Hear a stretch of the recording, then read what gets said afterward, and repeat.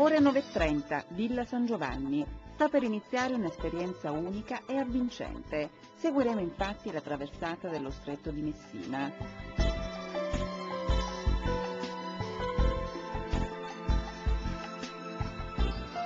Siamo a bordo del Colapesce, l'imbarcazione di Giovanni Fiannacca, recordman della traversata dello stretto percorso in 30 minuti e 50 secondi. La sua impresa risale al 1975, un record a distanza di 30 anni ancora imbattuto. Qual è la difficoltà di questo tratto di mare? Avere fatto di finirla. Avere solo la forza di finirla perché tutti possono fare lo stretto di Messina nel momento giusto e nell'ora giusta. Cioè? Cioè, speriamo di indovinare le correnti per cui oggi non dovremmo avere grosse difficoltà. Però in natura si può anche sbagliare, speriamo che Dio ce lo manda bene.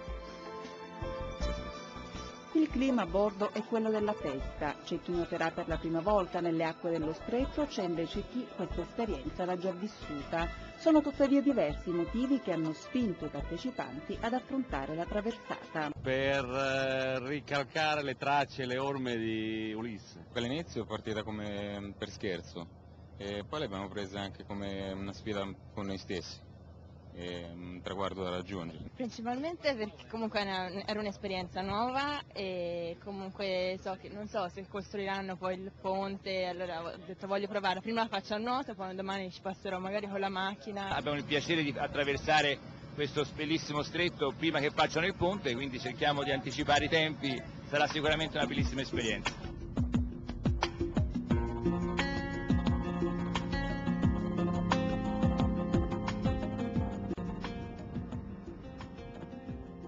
L'appuntamento con gli altri a Capofaro, a Messina. In tutto sono 58 i nuotatori provenienti da diverse regioni italiane e anche dall'estero che hanno deciso di affrontare le acque dello stretto tra partecipanti anche sette disabili. La traversata promossa da Ice Green Italy e patrocinata dall'Ufficio regionale di informazione delle Nazioni Unite per l'Europa occidentale non è né una gara né una competizione, ma una nuotata anche nel segno dell'integrazione. È la prima volta che si affronta lo stretto di Messina a nuoto? Sì, per noi, per noi due soprattutto che nuotiamo anche in coppia perché sono un vedente, vabbè, la prima volta facciamo una traversata così lunga e la prima volta lo stretto.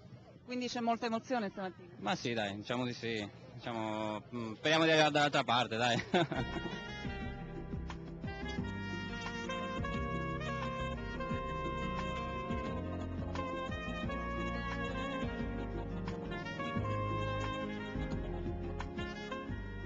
Rosario, lei per sette volte ha già partecipato alla traversata dello stretto, quindi insomma è quasi una passeggiata stamattina.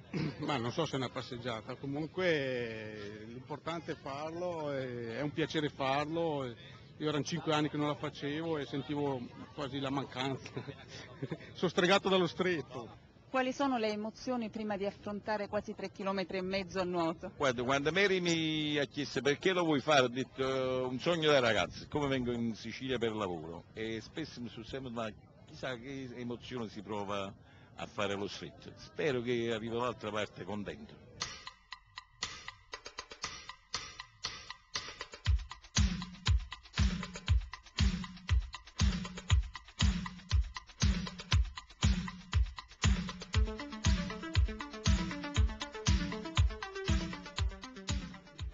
Ore 10.30, i nuotatori divisi in tre gruppi iniziano la loro avventura. Oltre 3 km in acque libere, caratterizzate da forti correnti, con le meduse che bruciano la pelle e i pesce spada che nuotano a pochi metri. Ma nessuno dei concorrenti sembra accorgersi di nulla. Procedono spediti a forza di bracciate verso la loro meta.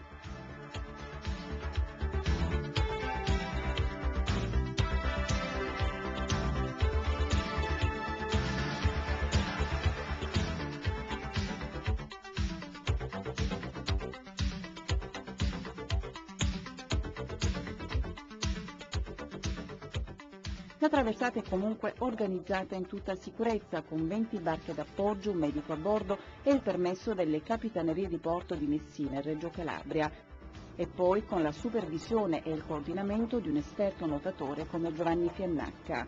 Non sono mancati tuttavia momenti di tensione, con una nave che si avvicina troppo ad un gruppo di nuotatori quasi sfiorandoli. L'esperienza di Fiannacca però ha evitato il peggio.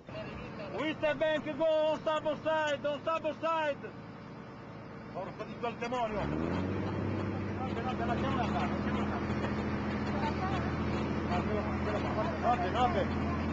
No!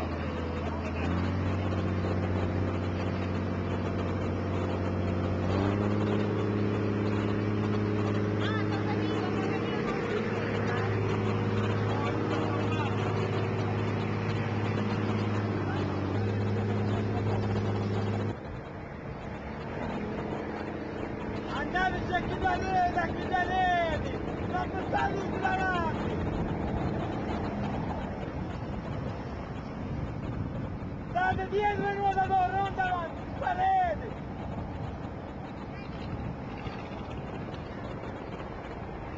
Momenti di tensione. E fortunatamente è andata bene. Abbiamo perso un po' di tempo, ma pazienza, meglio così.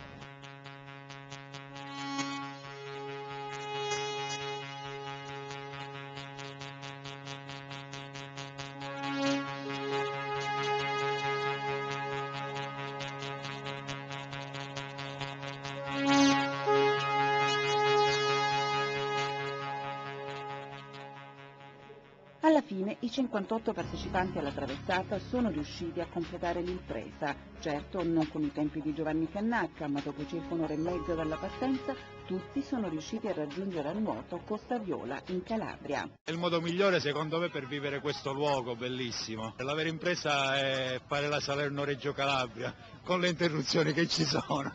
C'è stato un attimo in cui ha avuto paura? Delle meduse? sì, fin dall'inizio alla fine. Rifarebbe questa esperienza? Eh? Sì, sì, sì, penso di sì. Vediamo un attimo. È stata una bellissima esperienza, tutti quanti che sono partiti dalla riva della Sicilia sono arrivati in Calabria a nuoto senza salire su una barca nessuno.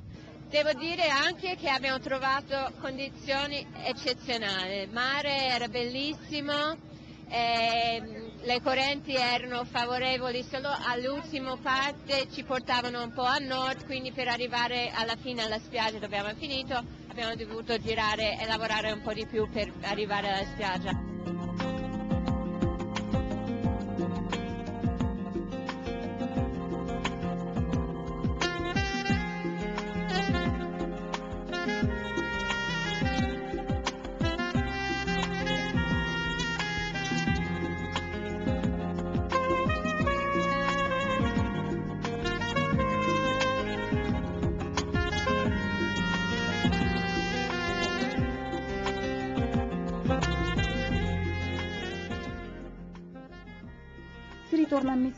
Destinazione la Lega Navale per la premiazione dei partecipanti.